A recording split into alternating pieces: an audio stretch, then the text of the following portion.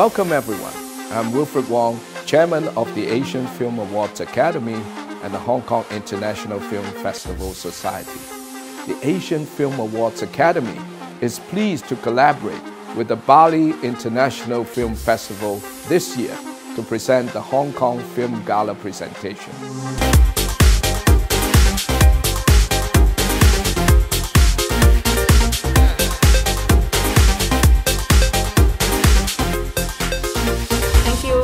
Film Awards Academy. you see many many new things in Hong Kong movie. We watch Hong Kong film in Indonesia. Thank you Asian Film Awards Academy. Thank you Asian Film Award Academy. See you in Bali now. So thank you Asian Film Awards Academy di Indonesia for the for the film screening. I really appreciate it.